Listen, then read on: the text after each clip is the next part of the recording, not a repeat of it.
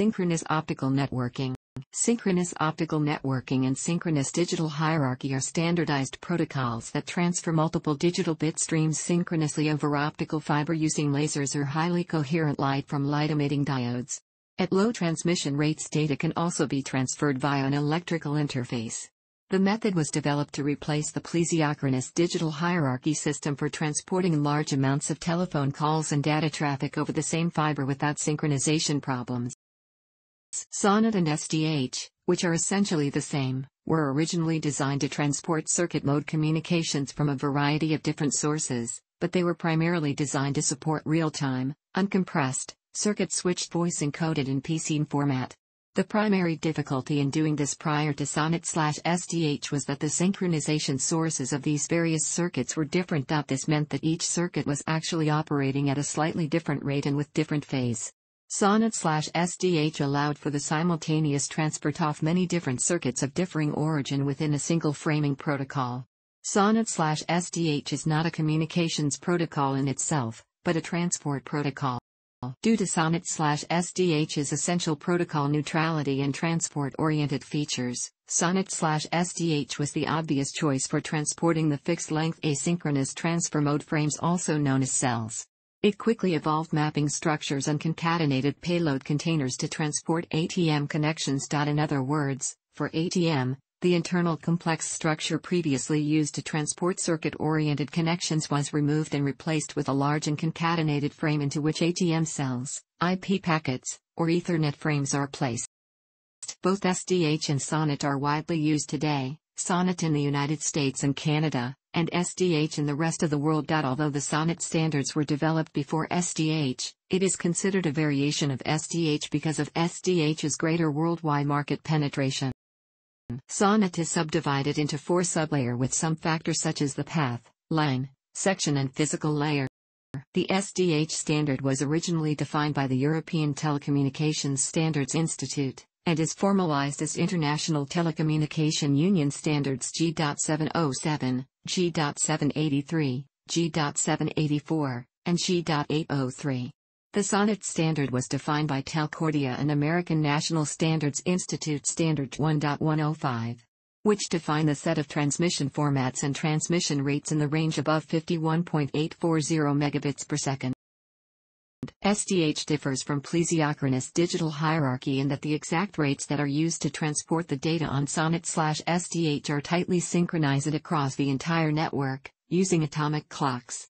This synchronization system allows entire intercountry networks to operate synchronously, greatly reducing the amount of buffering required between elements in the network. Both SONET and SDH can be used to encapsulate earlier digital transmission standards, such as the PDH standard, or they can be used to directly support either asynchronous transfer mode or so-called packet over SONET/SDH networking. Therefore, it is inaccurate to think of SDH or SONET as communications protocols in and of themselves. They are generic, all-purpose transport containers for moving both voice and data. The basic format of a SONET/SDH signal allows it to carry many different services in its virtual container, because it is bandwidth flexible. SONET and SDH often use different terms to describe identical features or functions. This can cause confusion and exaggerate their differences. With a few exceptions, SDH can be thought of as a superset of SONET. SONET is a set of transport containers that allow for delivery of a variety of protocols, including traditional telephony, ATM, Ethernet, and TCP/IP traffic. SONET therefore is not in itself a native communications protocol and should not be confused as being necessarily connection-oriented in the way that term is usually used. The protocol is a heavily multiplexed structure, with the header interleaved between the data in a complex way. This permits the encapsulated data to have its own frame rate and be able to float around relative to the SDH/SONET frame structure and rate. This interleaving permits a very low latency for the encapsulated data. Data passing through equipment can be delayed by at most 32 microseconds, compared to a frame rate of 125 microseconds. Many competing protocols buffer data during such transits for at least one frame or packet before sending it on. Extra padding is allowed for the multiplex data to move within the overall framing, as the data is clocked at a different rate than the frame rate. The protocol is made more complex by the decision to permit this padding at most levels off the multiplexing structure, but it improves all-around performance. The basic unit of framing in SDH is a STM1, which operates at 155.520 megabits per second. SONET refers to this basic unit as an STS3C. When the STS3C is carried over OC3, it is often colloquially referred to as OC3C, but this is not an official designation within the SONET standard as there is no physical layer difference between an STS3C and three STS1s carried within an OC3. SONET offers an additional basic unit of transmission, the STS1 or OC1, operating at 51.84 megabits per second, exactly one third of an STM1/STS3C OC3C carrier. This speed is dictated by the bandwidth requirements for PCM encoded telephonic voice signals at this rate. An STS1OC1 circuit can carry the bandwidth equivalent of a standard DS3 channel, which can carry 672 64 kilobit per second voice channels. In SONET, the STS3C signal is composed of three multiplexed STS1 signals. The STS3C may be carried on an OC3 signal. Some manufacturers also support the SDH equivalent of the STS1 OC1, known as STM0. In packet-oriented data transmission, such as Ethernet, a packet frame usually consists of a header and a payload. The header is transmitted first, followed by the payload. In synchronous optical networking, this is modified slightly. The header is termed the overhead, and instead of being transmitted before the payload, is interleaved with it during transmission. Part of the overhead is transmitted, then part of the payload, then the next part of the overhead, then the next part of the payload, until the entire frame has been transmitted. In the case of an STS1, the frame is 810 octets in size, while the STM1/STS3C frame is 2430 octets in size. For STS1, the frame is transmitted as 3 octets off overhead, followed by 87 octets of payload.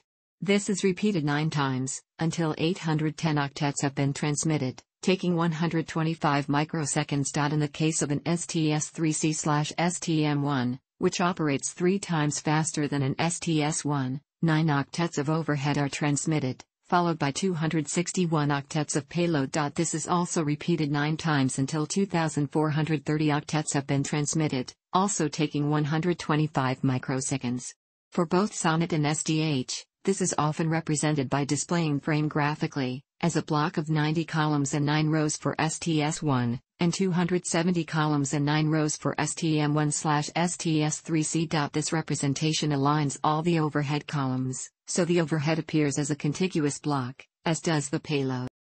The internal structure of the overhead and payload within the frame differ slightly between SONET and SDH, and different terms are used in the standards to describe these structures. Their standards are extremely similar in implementation, making it easy to interoperate between SDH and SONET at any given bandwidth. In practice, the terms STS1 and OC1 are sometimes used interchangeably, though the OC designation refers to the signal in its optical form. It is therefore incorrect to say that an OC3 contains three OC1s, an OC3 can be said to contain three STS1s. The Synchronous Transport Module, Level 1 frame is the basic transmission format for SDH, the first level of the synchronous digital hierarchy. The STM1 frame is transmitted in exactly 125 microseconds, therefore, there are 8000 frames per second on a 155.52 megabits per second OC3 fiber optic circuit. The STM1 frame consists of overhead and pointers plus information payload. The first nine columns of each frame make up the section overhead and administrative unit pointers, and the last 261 columns make up the information payload. The pointers identify administrative units within the information payload. Thus, an OC3 circuit can carry 150.336 megabits per second of payload, after accounting for the overhead. Carried within the information payload, which has its own frame structure of 9 rows and 261 columns, are administrative units identified by pointers. Also within the administrative unit are one or more virtual containers. VCs contain path overhead and VC payload. The first column is for path overhead, it is followed by the payload container, which can itself carry other containers. Administrative units can have any phase alignment within the STM frame, and this alignment is indicated by the pointer in row 4. The section overhead of a STM1 signal is divided into two parts, the regenerator section overhead and the multiplex section overhead. The overheads contain information from the transmission system itself, which is used for a wide range of management functions, such as monitoring transmission quality, detecting failures, managing alarms, data communication channels, service channels, etc. The STM frame is continuous and is transmitted in a serial fashion, byte by byte, row by row. The transport overhead is used for signaling and measuring transmission error rates, and is composed as follows. Data transmitted from end to end is referred to as path data. It is composed of two components. For STS1, the payload is referred to as the synchronous payload envelope, which in turn has 18 stuffing bytes, leading to the STS1 payload capacity of 756 bytes. The STS1 payload is designed to carry a full PDH DS3 frame. When the DS3 enters a SONET network, path overhead is added, and that SONET network element is said to be a path generator and terminator. The SONET NI is line terminating if it processes the line overhead. Note that wherever the line or path is terminated, the section is terminated also. SONET regenerators terminate the section, but not the paths or line. An STS1 payload can also be subdivided into seven virtual tributary groups. Each VTG can then be subdivided into four VT1.5 signals, each of which can carry a PDHDS1 signal. A VTG may instead be subdivided into three VT2 signals, each of which can carry a PDHE1 signal. The SDH equivalent of a VTG is a TUG2, VT1.5 is equivalent to VC11, and VT2 is equivalent to VC12. Three STS1 signals may be multiplexed by time division multiplexing to form the next level of the SONET hierarchy, the OC3, running at 155.52 megabits per second. The signal is multiplexed by interleaving the bytes of the three STS1 frames to form the STS3 frame, containing 2430 bytes and transmitted in 125 microseconds. Higher speed circuits are formed by successively aggregating multiples of slower circuits, their speed always being immediately apparent from their designation. For example, 4 STS3 or AU4 signals can be aggregated to form a 622.08 megabits per second signal designated OC12 or STM4. The highest rate commonly deployed is the OC768 or STM256 circuit, which operates at a rate of just under 38.5 gigabits per second. Where fiber exhaustion is a concern, multiple SONET signals can be transported over multiple wavelengths on a single fiber pair by means of wavelength division multiplexing, including dense wavelength division multiplexing and coarse wavelength division multiplexing. DWDM circuits are the basis for all modern submarine communications cable systems and other long-haul circuits. Another type of high-speed data networking circuit is 10 gigabit Ethernet.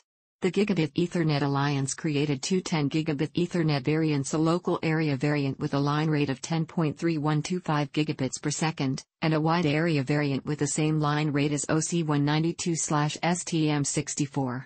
The WAN-PHY variant encapsulates Ethernet data using a lightweight SDH/SONET frame, so as to be compatible at a low level with equipment designed to carry SDH/SONET signals, whereas the LAN-PHY variant encapsulates Ethernet data using 64B/66B line coding.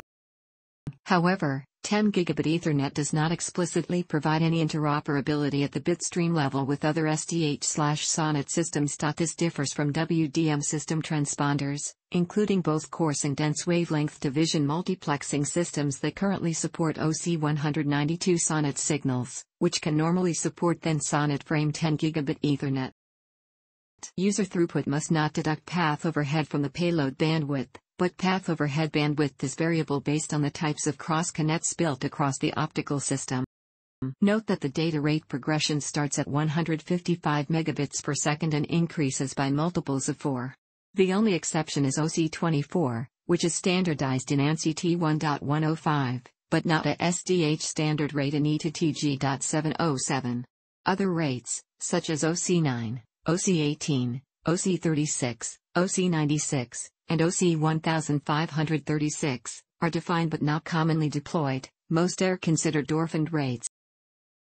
The physical layer refers to the first layer in the OC networking model. The ATM and SDH layers are the regenerator section level, digital line level, transmission path level, virtual path level, and virtual channel level. The physical layer is modeled on three major entities transmission path, digital line, in the regenerator section. The regenerator section refers to the section and photonic layers. The photonic layer is the lowest SONET layer and it is responsible for transmitting the bits to the physical medium. The section layer is responsible for generating the proper STSN frames which are to be transmitted across the physical medium.